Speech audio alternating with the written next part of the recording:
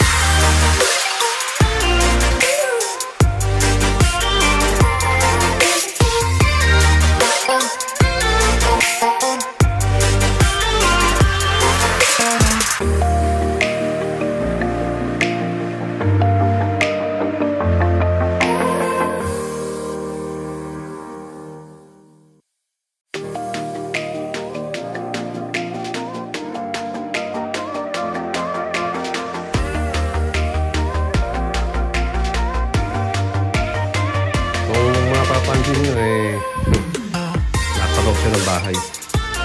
Eh, Holy Week ngayon. Uh, magbabakasyon tayo.